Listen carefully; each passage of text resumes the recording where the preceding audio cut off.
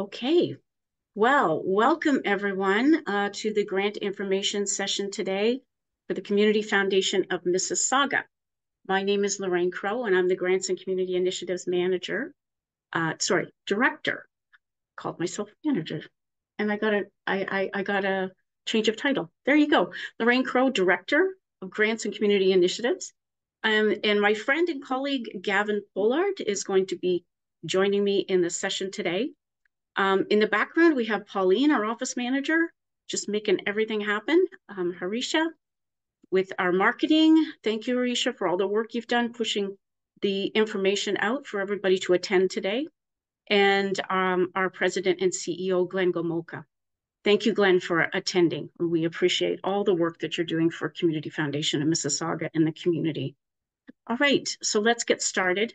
Uh, please allow me to begin our session today on behalf of the Community Foundation of Mississauga by acknowledging that the land on which we gather and on which re the region of Peel operates is part of the treaty lands and territory of the Mississaugas of the Credit. In particular, we acknowledge the ter territory of the Anishinaabeg, Huron-Wendat, Haudenosaunee, Ojibwe, Chippewa peoples, and the land that is home to the Métis, the most and most recently the territory of the Mississaugas of the First Credit Nation, who are direct descendants of the Mississaugas of the Credit. We call on all various levels of government to just not pay lip service with land acknowledgements, but to continue to address the inequities that the Indigenous peoples face and allow them to achieve the 94 calls of action that were addressed by the Truth and Reconciliation Commission we also acknowledge the systemic discrimination that many groups face who call this land their home. They came here to seek a better life or to broaden their horizons, but because of the color of their skin, their religion, or some other characteristic, short characteristic, excuse me, they are subject to discrimination. I apologize, I've got a cold today. As we meet with each other today, let us commit to respect and uplift each other, to tear down the barriers of prejudice, discrimination, and hatred that seem to be getting stronger. Let us resolve to love ourselves and each other and to build a just society for all. And happy Valentine's Day. Thank you so much for joining us today. Okay, let's get into it. All right, on our agenda, we're going to talk about the foundation, what's new, understanding our grant processes, uh, the really exciting changes to the Novo Nordisk grants, eligibility grants, updates to grant reports and budgets. Um, we're going to talk about vital signs indicators and our new grant catalog of community needs. We'll talk, we'll do frequently asked questions, and you'll have an opportunity to put some questions in the question section on your Zoom meeting, the Q&A, um, and we will answer those questions as best we can. Uh, just a little housekeeping. All microphones um, will be muted and videos turned off. Uh, please raise any questions in the Q&A section.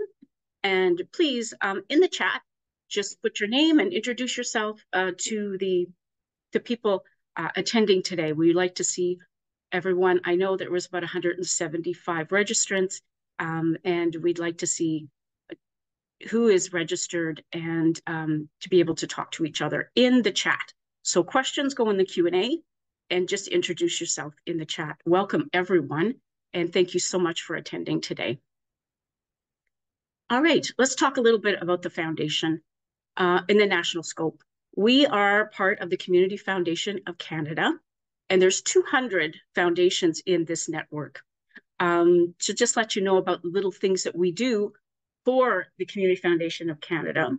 Um, every time there is some federal money that is going to be uh, distributed to the charitable sector, quite often they will reach out to the Community Foundations of Canada to go into our 200 foundation network across Canada to make sure that the money goes to the right places.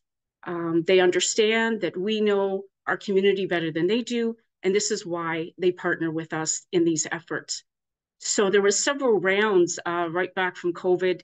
Um, I'm going to throw out some acronyms here for those people that are have been writing a lot of grants in the last few years. You'll recognize these: the ECSF fund, the CHCI fund, the CSRF Fund, and the Investment Readiness Fund.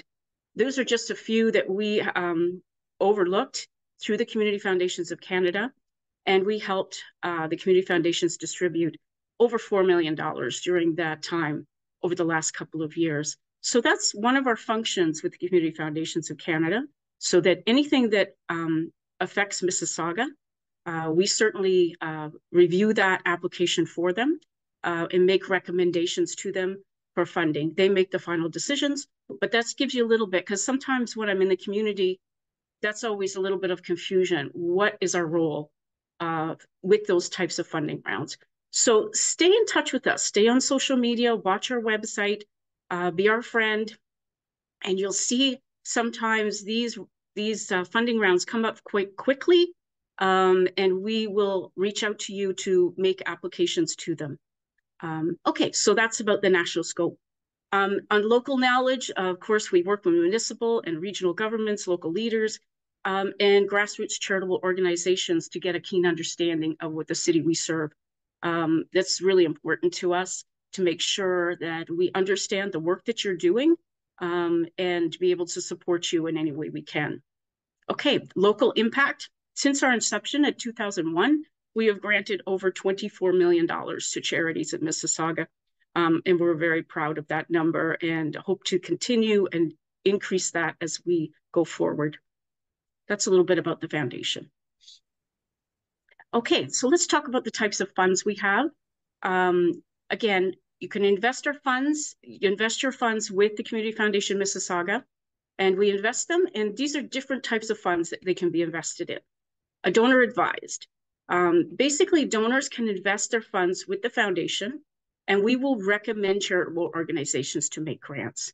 I'll talk about this a little more because our new catalog of community needs is going to be assisting us in this effort.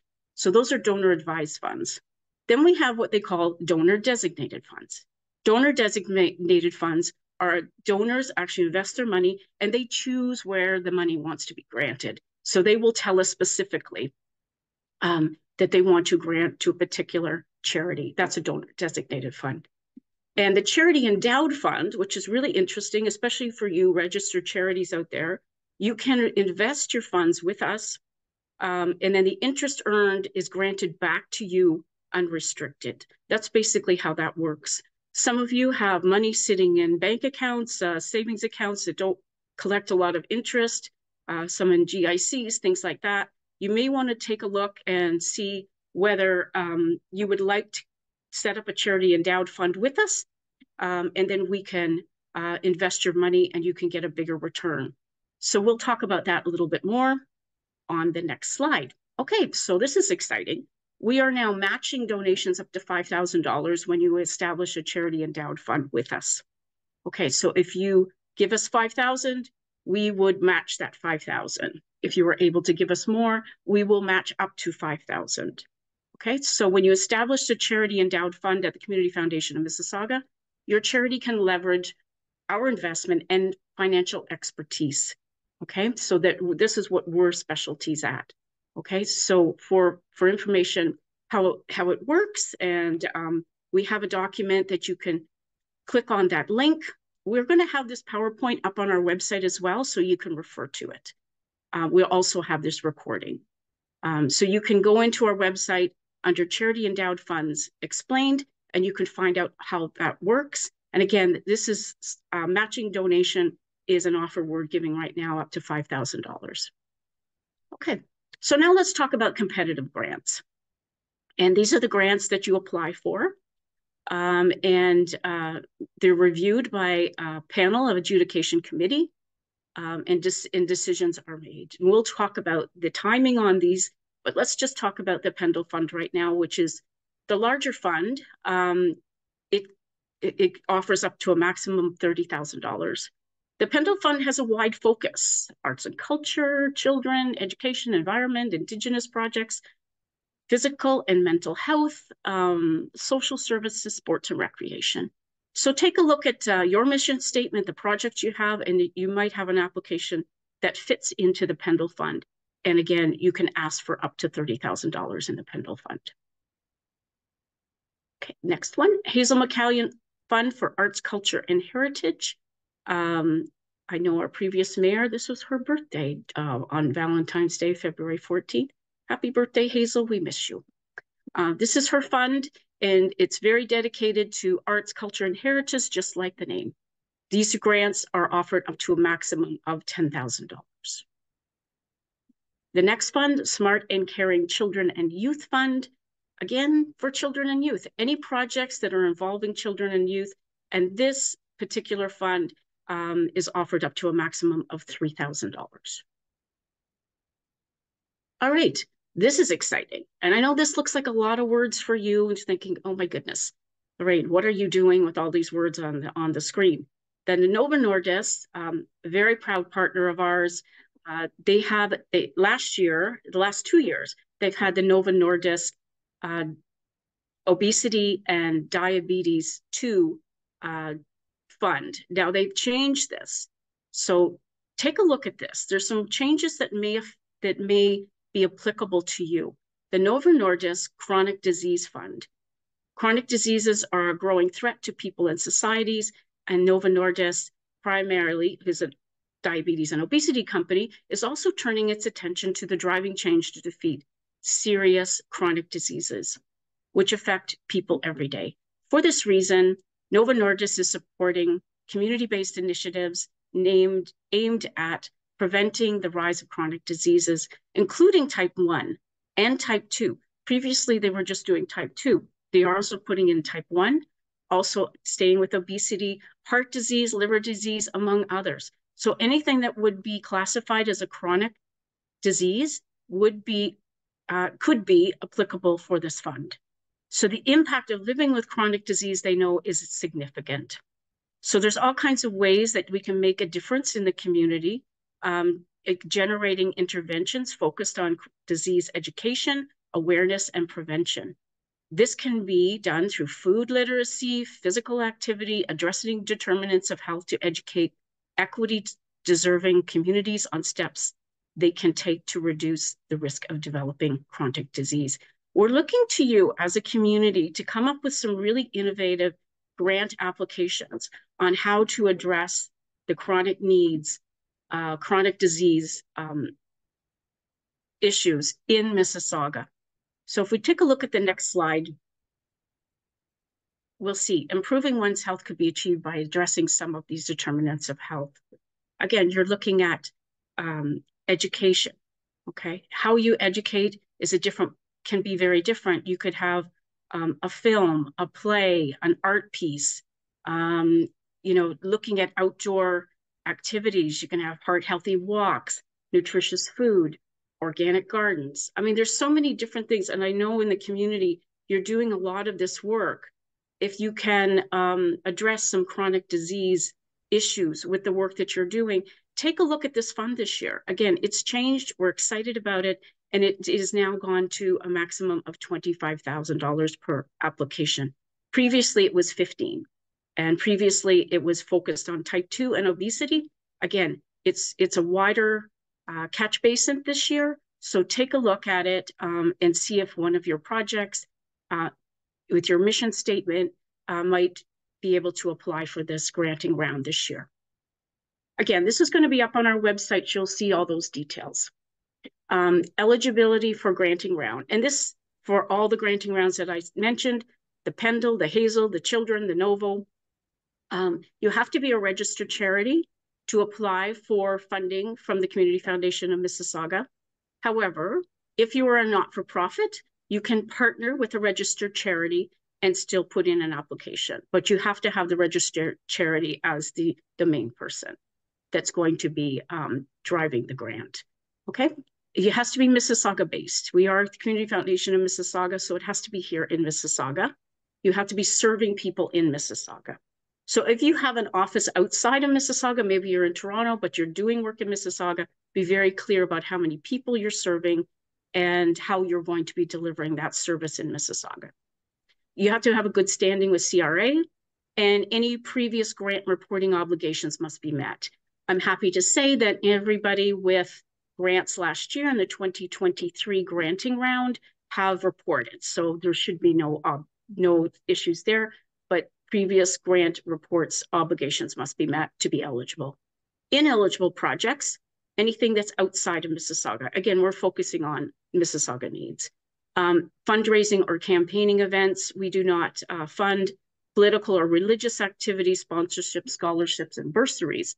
Um, talking a little bit about the religious activities. If you're a faith-based organization, you can apply for funding if your project um, is not related to faith education. Okay, so you, for instance, if you're a faith-based organization and you have a food bank that you need some help with, you can apply, um, and, but it has to be open to the public. Okay, and it's not for religious activities. So I, I just want to mention that because I do get that question quite a lot. Ongoing operating expenses are not covered um, and retroactive funding for any project expenses incurred before the foundation's decision date. So if you have a project that you're already working on, you can apply for money for expenses that have already uh, been incurred. Okay, so that's the eligibility.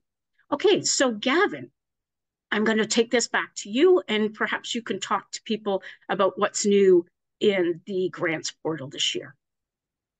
Sure, thanks, Lorraine.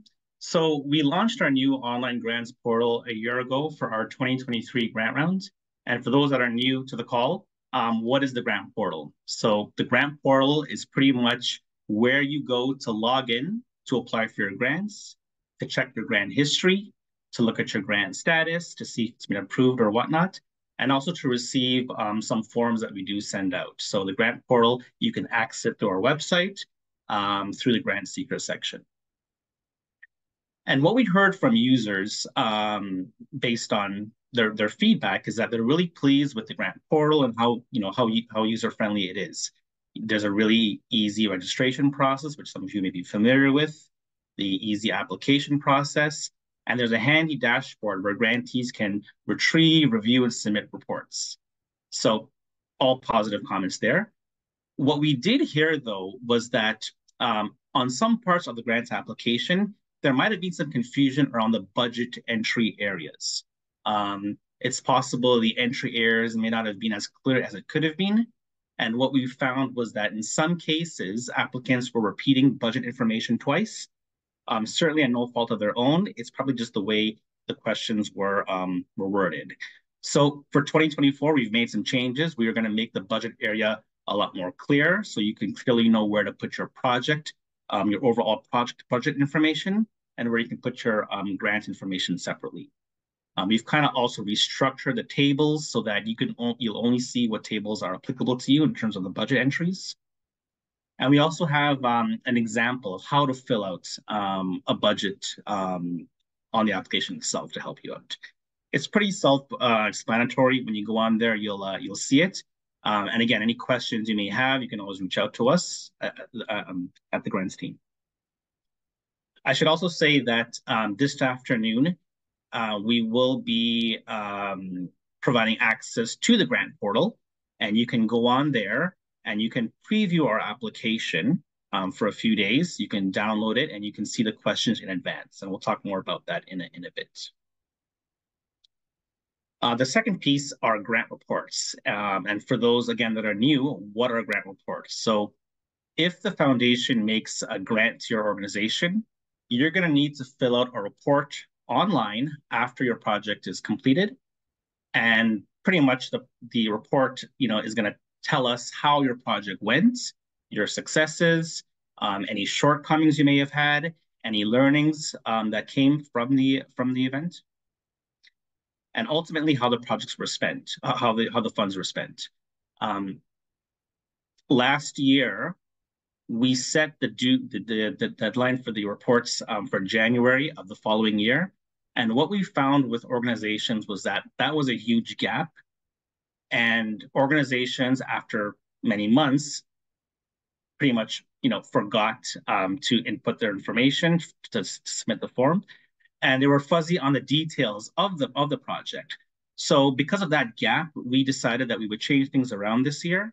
And instead, what's going to happen is on your application, when you enter your project completion date, um, your report is going to be due 30 days after your project is completed. Okay, so for example, if your project end date is June 30th, your um, due date for the report is going to be July 30th, so 30 days after.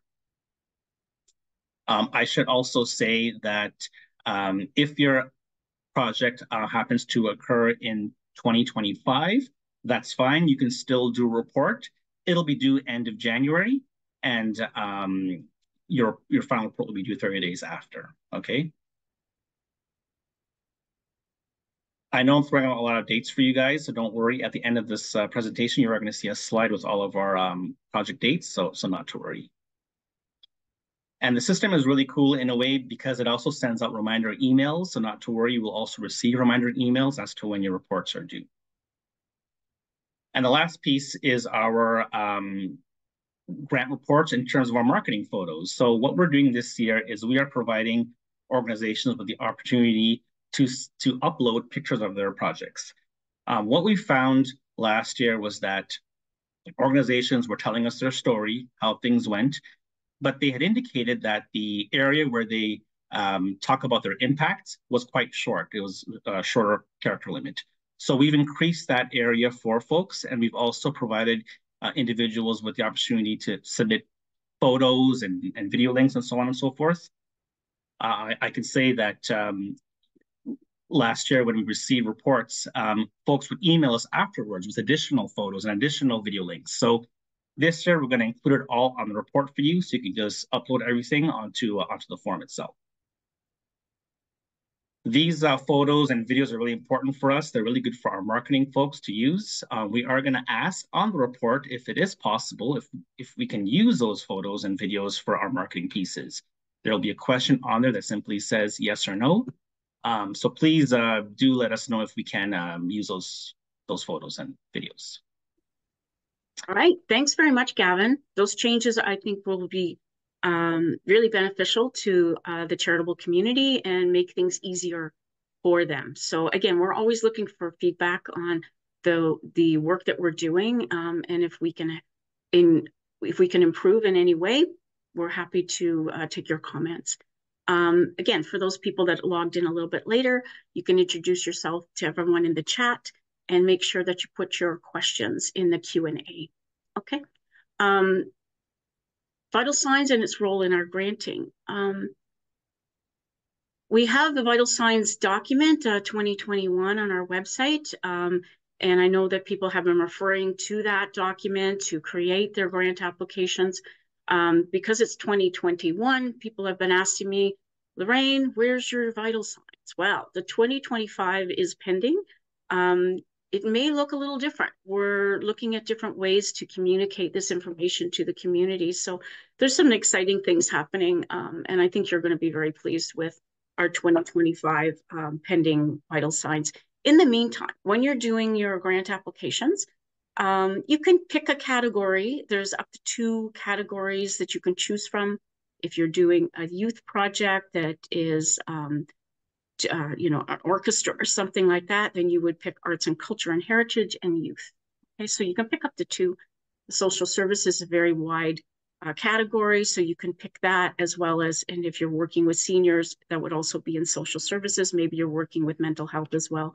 So you can uh, pick up the two. You have to pick at least one. So when you go into our grant application, it's very self-explanatory. The list just comes up and uh, you pick a category. Okay. Next slide. Okay. Now, one thing that I often get asked in the community is, you know, how do I write a good grant application? Um, what are you looking for? Okay. So let's go over what, when you're writing a grant application, I was a grant writer previous to this uh, position.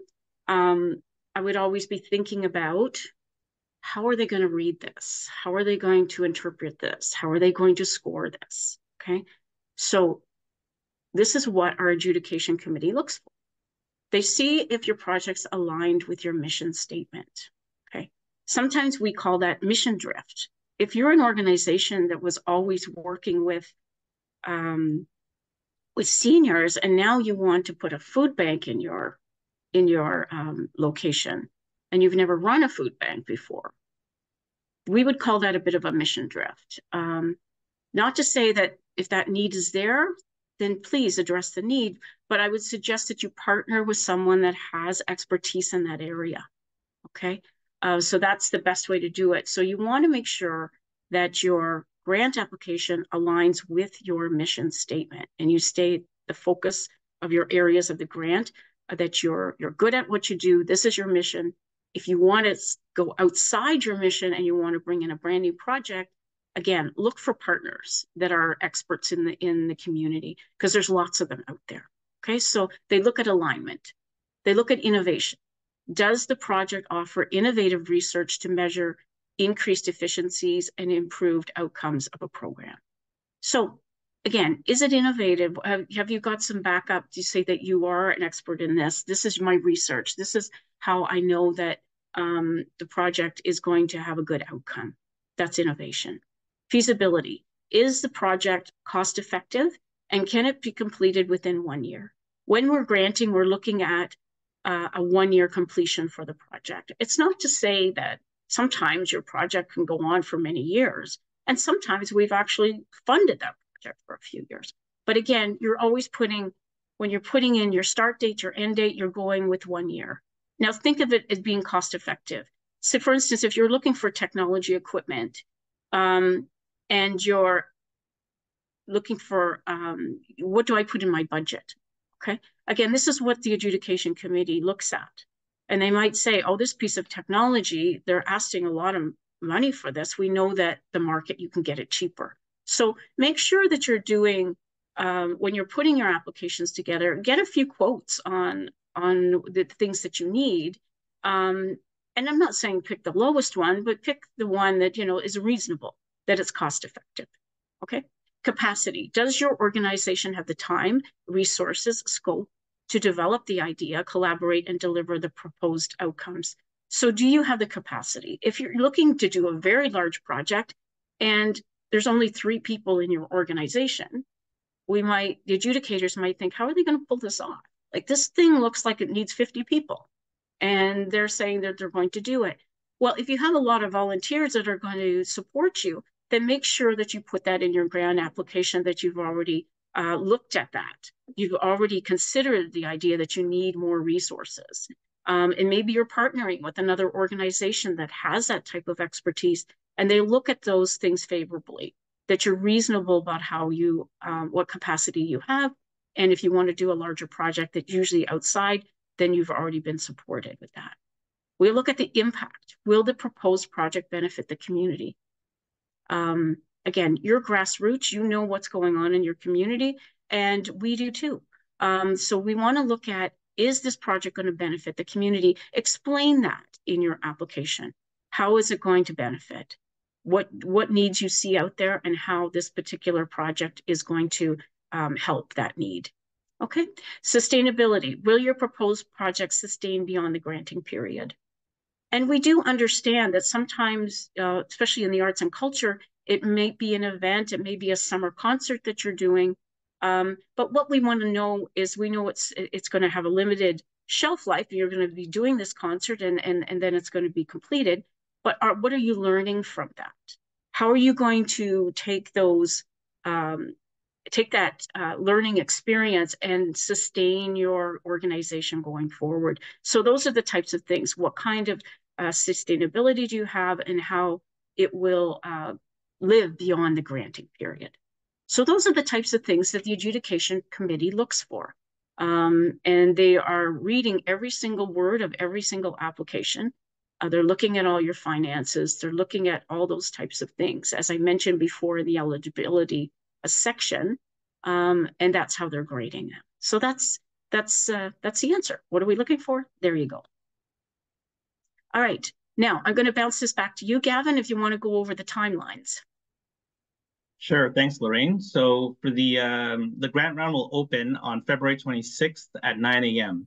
But as I mentioned previously, this afternoon we are going to open up the portal so that you can log in and you can at least review, preview the application, download it, print it out if you like, so you can get an advance on the questions. Um, but the official application time will be um, Monday, February 26th at 9 a.m.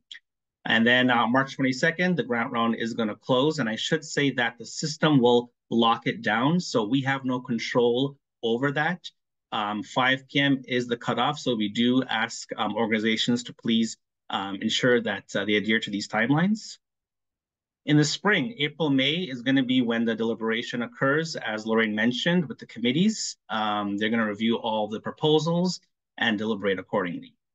And then finally, end of spring, May, June, is when uh, you will receive um, uh, an email indicating if you were successful or uh, if you've been uh, denied.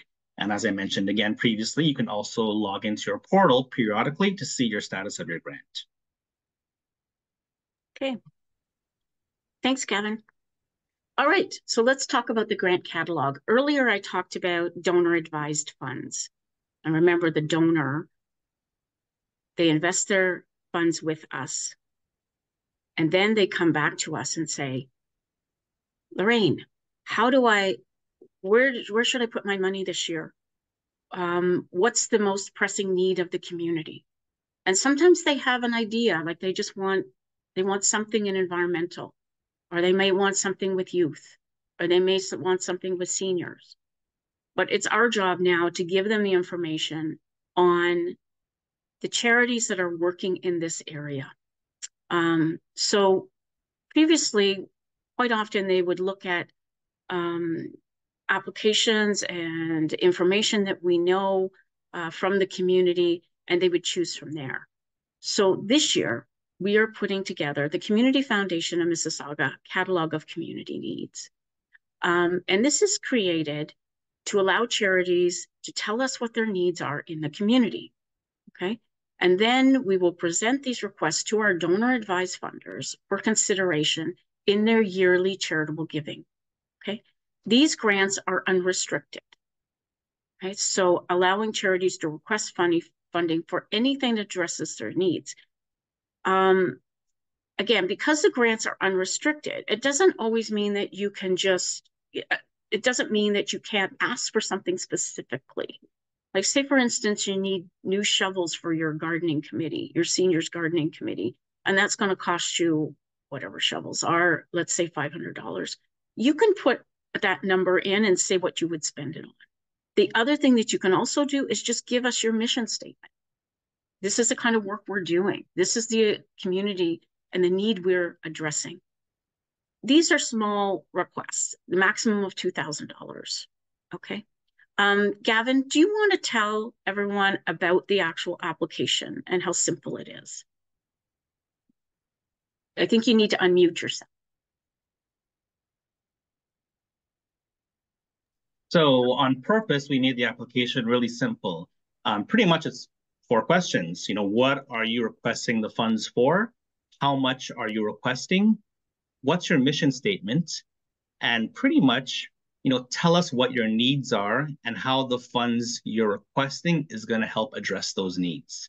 So pretty basic, pretty simple, pretty straightforward. Yeah. Thanks, Gavin. Yeah, we try to make it as simple as possible. It's kind of like what you call a one pager. Um, it's it's very very simple. And again, what we'll do when we collect up um, whoever puts their information in the catalog of community needs, we'll collect those up and then we're going to be presenting uh, those to the donor advised funders, okay, for their choices on how they want to uh, gift their money this year. The applications will be accepted between April 2nd uh, through to June the 28th. Okay, so watch for that. Um, again, our grant realm will be completed by then. Um, and then we look after the donor advised funding. That's why the catalog is during this time period. Okay. All right, now we're going to get into frequently asked questions. Some of this I've already kind of gone over, but it's always good to repeat. Uh, can two charities partner on one application? I talked about, again, because the Community Foundation of Mississauga um, presently has to gift to a registered charity. Now, last year we talked about uh, doing whatever we can to allow not-for-profits to apply. And we're certainly have been working diligently for an entire year with um, our legal department, with our board. Um, but we just got information from CRA last month. You, so you can tell, you know, it, it's it's it's a long process to make a switch for us to be able to pay not-for-profits, but we are working towards that. But this year in 2024, this granting round, we are only accepting um, registered charities to apply. Again, remember, you can partner with a not-for-profit, and as long as the registered charity is the lead charity, okay? You can also have two registered charities partnering with each other. We have a little example here. Not to say that Disney is a registered charity, but we used it because we liked it, didn't we, Gavin? Right? Yes, indeed. Okay, so Disney partners with Sony for a Hazel grant. And therefore, Disney or Sony cannot apply for Hazel again by themselves. Okay. So think about this. If you're partnering with another organization, okay, you cannot come in with another application in that particular funding round. Okay. So if Disney's partnering with Sony and the Hazel, Disney or Sony cannot apply for Hazel again by themselves. I hope that's clear. Okay. However, they are both welcome to submit an application to other funds. It has to be a different project. You can't take the same project and shop it around in the four funds that we have, okay? And trust me, we read every word of your application. And sometimes people have got the exact same project and they've called it something else. We understand that doesn't get past us. And sadly, with that kind of situation, we have to disqualify all four applications if they've done that. Or maybe they applied in Hazel and they applied in Pendle for the same project but called it something else, then both of those projects would be dismissed. Okay, they're not eligible. Okay, so just put in one project per per fund, and um, and it has to be a different uh, di different project. Okay, so can two charities partner with one application? Yes, they can. Okay. Next question. Can a not-for-profit organization apply for a grant round? And again, I've said it a couple of times, but this is a question we get constantly. Um, again, not-for-profits are welcome to enter into a partnership agreement with a registered charity, uh, but we unfortunately cannot accept just not-for-profit applications at this moment. Next question. If a project has been funded in previous years, does that mean it's guaranteed to be granted this year? No.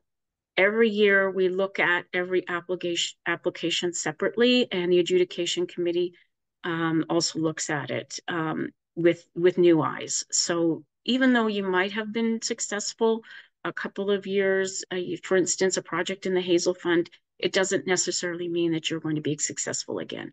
But please, we encourage you to apply um, and uh, we will look at every application that you send to us. Okay, the program we are applying uh, for exist across Peel region, including Mississauga. Can we still apply for funding? Yes, and I alluded to that earlier. Again, you can have an organization that is servicing the Peel region. So you're doing work in Brampton, you're doing Caledon. Um, however, um, we are only going to fund what you're doing in Mississauga. This, this is, you know, focus on this because if your organization is in this category, what happens with the adjudication committee when you come in and your organization head office is in Brampton and they know that you're doing work in Brampton, they get a little nervous. How much are you doing in Mississauga? Okay. How many people are you serving in Mississauga? How do you do that? Okay. Maybe you have a remote office. Maybe you partner with somebody and you know you rent space every year from Mississauga for a summer camp or something like that. But be very clear in your application how you do it. Um, because I have sadly read some applications where you're not clear and you won't get full marks uh, from the adjudication committee. You're making them nervous. Make sure that you're very explicit on how you do this, okay? Especially when your office is outside of Mississauga. Uh, make sure that you're addressing how you're helping Mississauga residents and how many people you are actually helping in Mississauga. Okay, are late applications accepted? No. Uh, as Gavin mentioned, right, Gavin, the system locks it down, right? Yes, it does. Um, we're locking it down, um, and it just it locks down at five o'clock So there are absolutely no applications will be accepted after the deadline. And don't forget to put in the required documents, okay? Because some people will give me a nice grant application. They forget to give me their audited financial statements. They forget to give me their um, list of board of directors. Those are things that are required. And it says that in the application. So please put in everything that's required. It's not going to be helpful if you do a grant application and now you're emailing me at 510 and saying, here's my financials. Yeah, it doesn't work. It has to go into the system. Again, I was a grant writer for years because what's the date again, Gavin? With the final date, March the March 22nd is the cutoff. March 22nd is the cutoff. Okay, here's my suggestion. Put March 17th as your cutoff. Okay, I understand it. You've got a whole bunch of things you're doing. You might be right, you know, writing four or five grant applications at the same time, um, and you get, you know, time pressure. And also, you might be bringing it back to other people in your, in your organization that are editing your your work, and you're waiting for financials. I understand all those pressures are happening behind the scenes. I've been there. I know what it's like.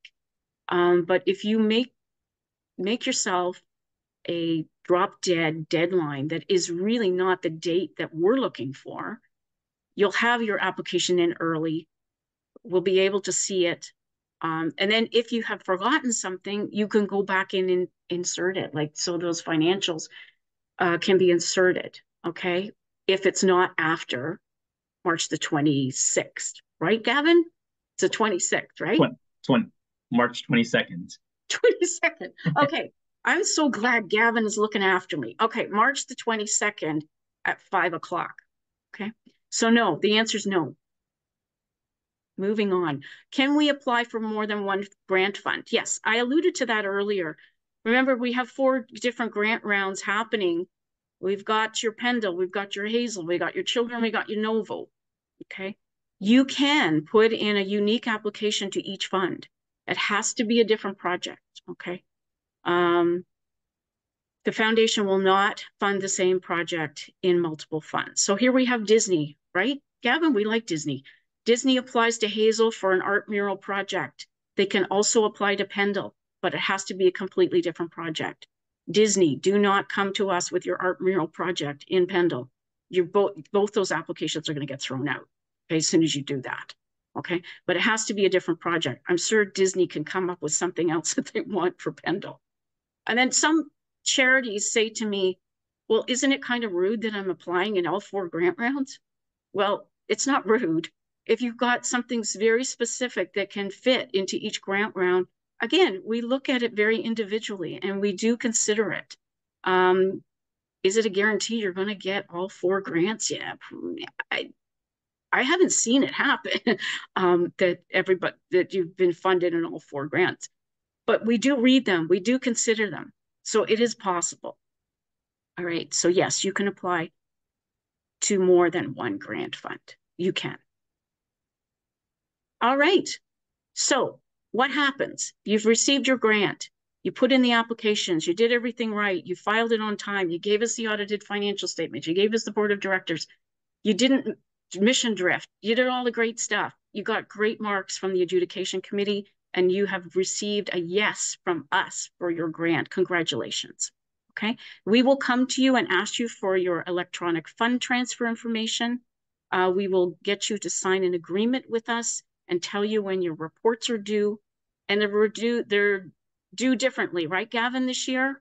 Yes, 30 days after your project is complete, 30 yeah. days afterwards. That's right. And we want to make sure that all the projects are completed by June 30th, 2025. Isn't that correct? That's if your correct. yeah, but we will be looking for interim reports in January. But again, we'll give you all this information when we tell you that you have been successful. Okay. And then remember to acknowledge your grant in our marketing, in your marketing materials, your website, your social media.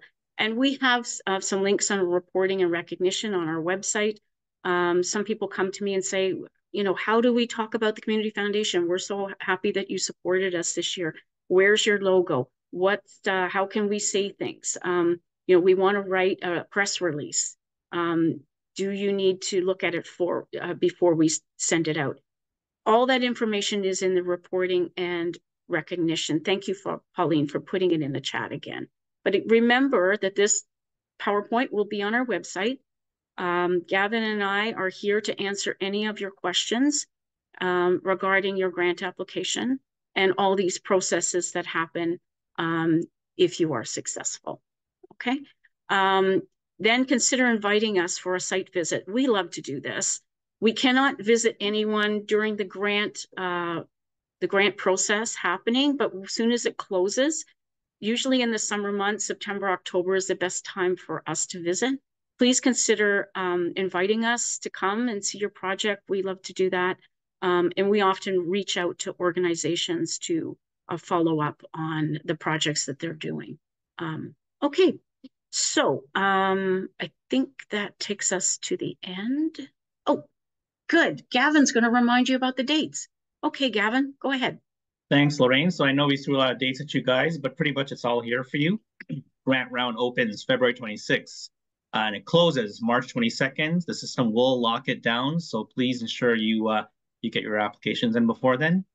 Deliberations are in the spring, early spring, April, May, and then approvals and declines happen um, email notifications happen afterwards in May, June. um, as mentioned, what's going to be new this year is on your application, you're going to indicate, you know, what you've done before, your project end date, and your report is going to be due 30 days after that, okay? If your project end date happens to be in 2025, no problem. Just submit an interim report by the end of January of the following year, and then 30 days after your project end date.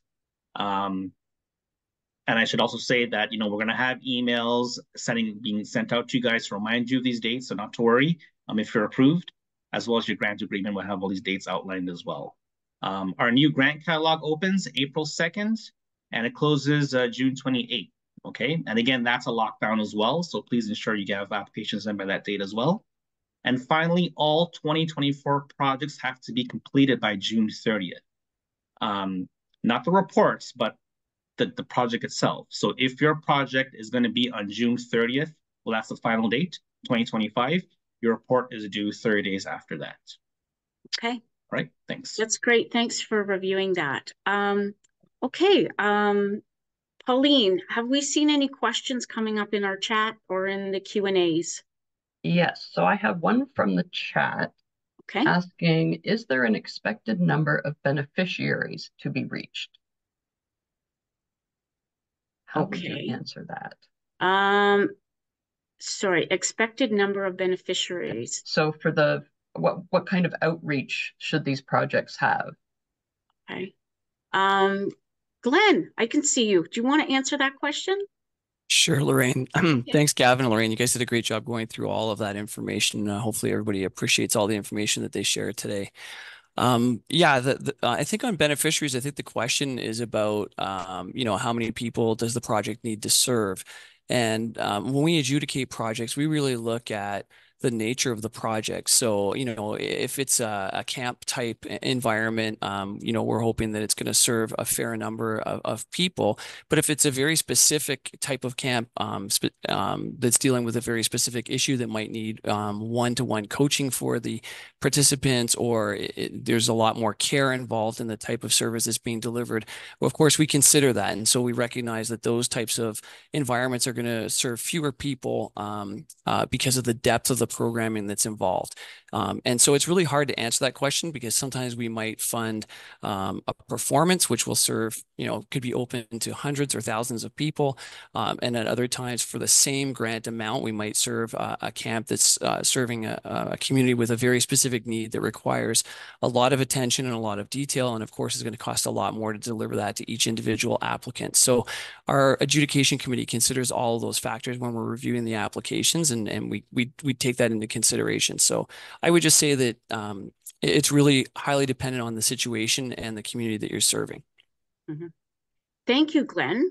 Yes, no, excellent answer. Yeah, because as you said, some um, some participants um, need a lot more help. Um, so you may have a one-on-one -on -one situation where you might not be servicing, you know, a thousand people, but we certainly take that into consideration. Thank you.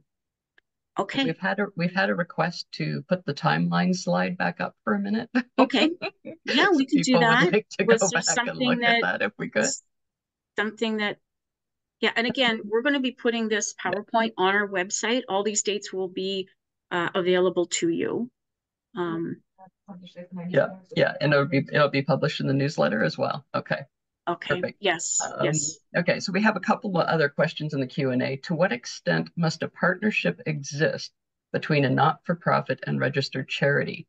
Can the project we are seeking funding for be a project that is under the operations of the not-for-profit? Yes, um, yes, sometimes the not-for-profit is actually delivering the project, but the registered charity is the one that we actually pay. Okay, so the registered charity would end up paying the not-for-profit for their services. That's basically how it works. I hope that's helpful. Again, if you want to reach out to us, um, we could, you can always email us directly and we can phone you, um, and, and walk you through those types of processes. Okay. Um, I see there's a- another question here from Monica. Um, I would like to clar- clarify if our project ends 2025, we would have to submit two reports. Yeah, an interim in January, um, and then a final 30 days. You've got it exactly right. Okay. So again, the interim report, because we have the, um, uh, the funding round opening in February, we'd like to see where you're at. We do understand that some projects leak over, um, you know, the actual application date for uh, the, the pre, for the next year. So we need an interim report and then 30 days after. If our project Yeah. ends in 2024, we would only need to submit one report. Yeah. So Yeah. and basically, as soon as you've finished your project and you've spent our money, okay, then you can submit the report. Uh, so it doesn't necessarily say if you picked a, a an end date um, you said, I think I'm going to uh, finish this project in November of 2024, but you ended up finishing it in September. Okay. Sometimes that happens and you've spent the money. You can submit the report early. You don't have to wait. Okay. And as Gavin said, soon as your project is finished, it's top of mind to you. You know exactly how much you've spent. You know the outcomes. You probably have pictures to share, those types of things. So don't you don't always have to wait to the deadline. You can do it early if you want, um, but it definitely has to be done from 30 days after. I hope that's helpful. Okay. Pauline, did you see anything else in the chat that we should talk about? Sorry, I muted myself. Uh, the only other thing I was thinking uh, that I saw was somebody said, besides getting a $2,000 grant, do you believe the grant catalog is a good way for organizations to introduce themselves to the advised fund holders? Yeah, absolutely. I mean, especially if they have never uh, thought about you before, and maybe you've never applied for funding from us. Um, certainly, it's it's a great way to do that um, to let uh, the funders know and to us for uh, for and to update your information because some organizations you may have changed your name, you may have changed your mission statement somewhat. So current information is always helpful all the way around. I would encourage everyone to put in uh, to fill out that little catalog one pager. All right. Um, I think we're getting close to the end of the hour. Um, again, I still encourage people to um, say hello in the chat. I know there were some people that came in later, um, and it's really wonderful to see all the great uh, charitable organizations participating in our funding information uh, session today. And uh, I just really love to thank you especially on this Valentine's Day, about all the great work that you're doing in the community. We can't exist without you. Um, you know, you're really making a huge impact in the community, and we're so proud to be able to support uh, your efforts. So we look forward to your grant applications for 2024 um, and uh, seeing the wonderful work that you're doing. Um, and um, again, uh, thank you very much for the Community Foundation Mississauga staff, Pauline, Harisha, uh, Gavin, and Glenn. Would you like to have some final comments, Glenn, to say goodbye to everyone? Uh, thanks, Lorraine. Uh, I hadn't prepared anything, but I just wanted to say, uh, again, you guys did a great job. I want to thank everybody for attending this morning. And as Lorraine said, of course, our work is dependent on the, the projects that uh, that we grant, and so it's always uh, it's the most exciting time of the year at the foundation when we get to review all the the projects that are happening in the community, um, and we get to grant out uh, funds to make those projects come to life. And so we're really looking forward to seeing your applications and looking forward to working with you all. Uh, so thanks again for attending today. Yeah. And final words, don't forget about the matching fund that we have. Um, if your organization would like to have some more information, you can reach out to us and we would be so happy to be able to uh, help you with um, investing your funds um, to make it a little easier on your operations going forward. Again, we're looking forward to your applications. Uh, Gavin, any final words? Uh, no, thank you very much, everyone, and for all the good work you do, and look forward to receiving your applications um, next week. Okay. All right. Okay. Goodbye for now.